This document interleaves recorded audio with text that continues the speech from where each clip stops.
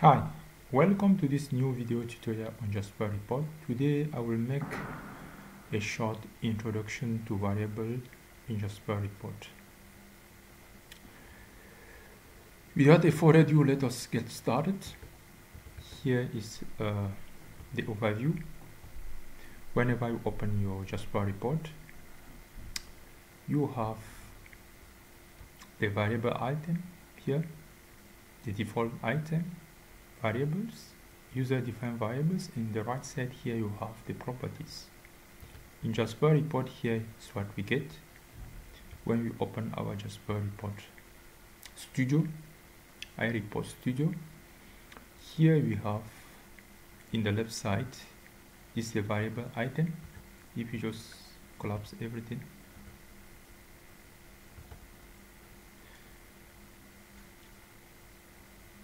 you have the variable items and you expand it. We have here the built-in variables in gray. And whenever you select you have the built-in variables. And in black here is the user-defined variables. If you select the built-in variables you have it in gray. You cannot edit it. And if you if you select the items and go and create a variables here. Here you have the possibility to add a names. Here is some attributes and you have those attributes will be divided into two parts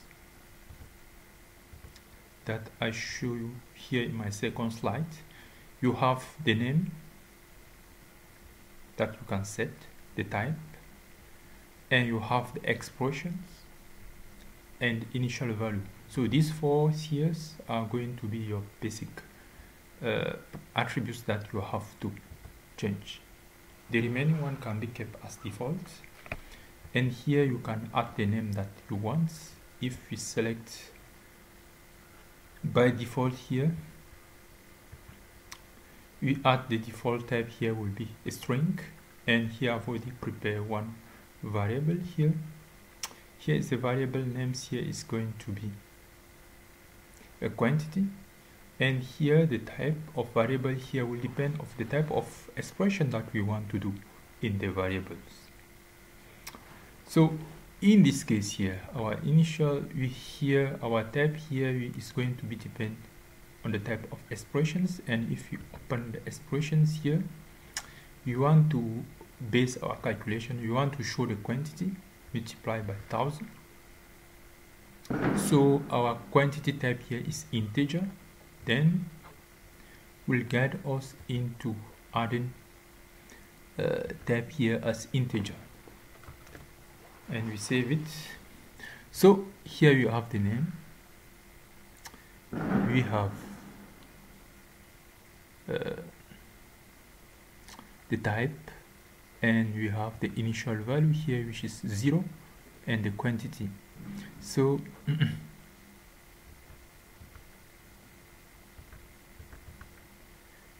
and if we go now and run our projects here reports and here you see that we see that here that this quantity here this is a quantity and we want to multiply this quantity by 1000 so what we are going to do now is to go to this field sum expressions here is quantity by thousands and we come here instead of showing quantity here you are not getting by thousands here because you have assigned in the field here quantity. So let's go to the field and instead of passing quantity there as variables we are going to go here and add our variable instead. So now if we uh, run it again you will get this quantity divided multiplied by 1000 in this column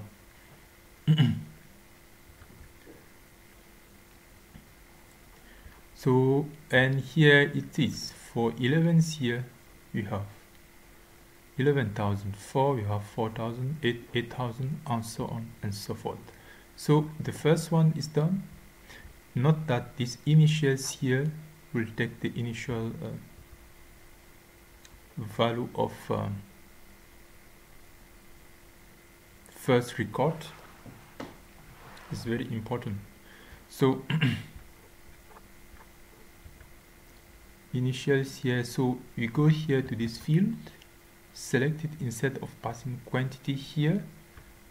We pass our variables and see you can already guess which uh, which uh, value are we going to get. You can pause it here and guess it. And bam we have zero here because here when the report is executing in the beginning here in the title no record has already been run. So by default it will be zero. And then we come here become uh, this uh, quantity multiplied by 1000 so that's why we get uh, zero there. I just want to show and depend that the value uh, you, I will show this one in the later part the execution the evaluation how the variable is executed evaluated. So we go back to the advanced properties. In the advanced property we have the increment increment and the reset. In the increment here if we select uh, where is our variables increments. Here we have the increment type the increment expression. And if we select our increment type here we have different type of increments. And you may wonder what will be the meaning of of those. Here is um, the increment type here the increment type here will can be a column I mean the variable is uh, sorry the variable is uh, the variable here is calculated at the end of each column. If it is a group, it means that it will be calculated when the group increment change. None, nothing. It will be uh, recalculated with every uh, records and page. It will be recalculated at the end of each. Uh, every page and the reports it will be recalculated at the end of uh, the reports and this is mostly here uh, the literature and the next thing is the calculation sometimes we may want to perform different calculations with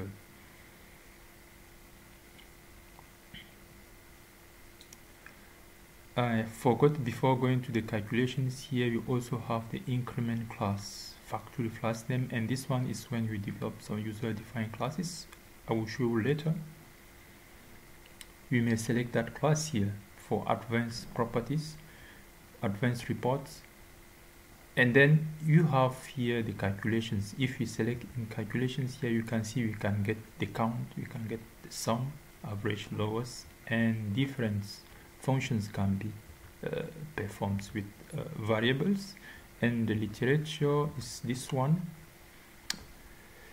Here it will what does it do? Calculation does is that what calculation to perform at the variable when the filling when filling the reports. Okay? And here you have the average. It means that the average value is the average of every non null values important it means that if in your records you have uh, in your table you have five records and one is null then the average will be the average of four value. Same thing goes here with counts you will not count if you get counts here only four will be returned because you will have four records because another records will be null value will be null. Let's go to the first lowest. Nothing is for no calculations. And the sum if you want to get the sum. And the system of course is a, a custom calculations. And also the variance if you want to calculate uh, the variance. This one you can select it. And another part is the reset. The reset is what we have here what does that mean? Reset if the reset the reset determine when the value of a variable is reset. I mean these attributes use values as follows. This can be the column. It means that the, vari the, the variable value is reset at the beginning of each column. If it is a group then the variable reset is done when the group specify by increment group change. It means that if you have been counting like 1 2 3 4 5 10 when we reach 10 and the reset happen the group change it will the value will come back again to 0 and will start counting in the next group from 1 2 3 4 depending on what uh, uh, you were doing. If you were using uh, counting counts or so then you also have none that the, var uh, the variable here is never reset.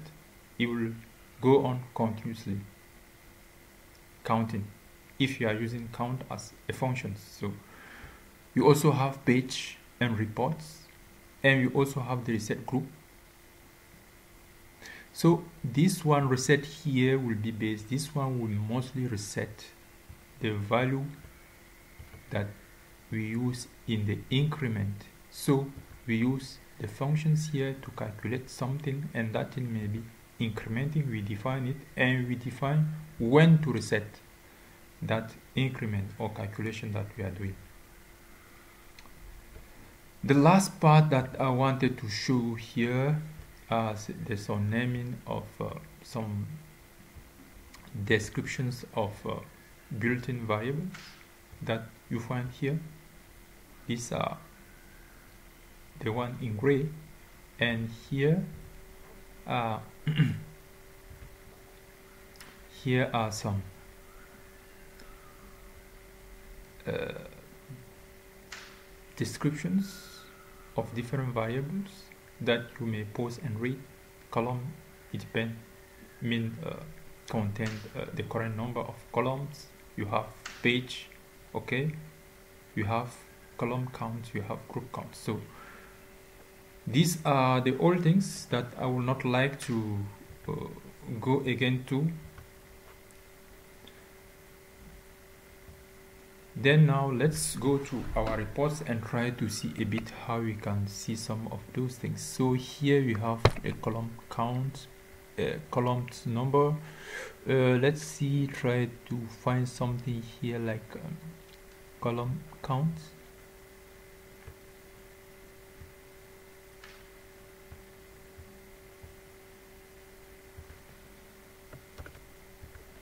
we take it?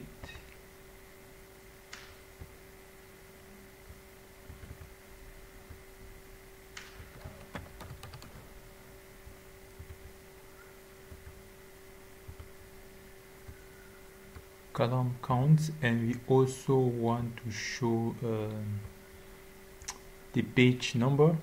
You want to see the page number can also take that.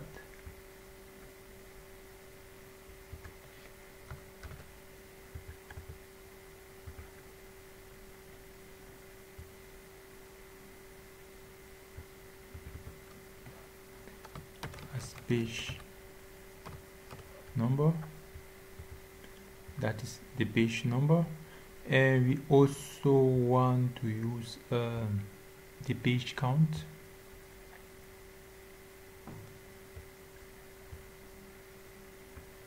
okay and lastly we want to use uh, the reports counts.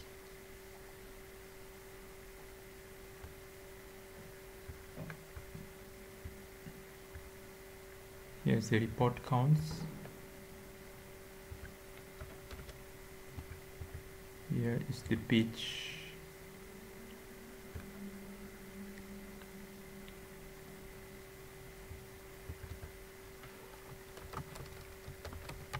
page count. And the last is uh,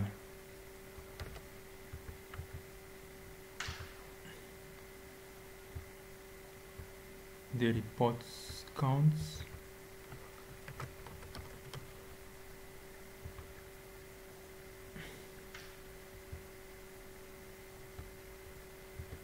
We have okay these are only some few variables that we built-in variable that we want to see. 15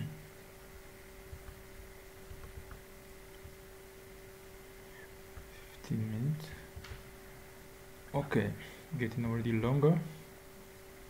So when we go back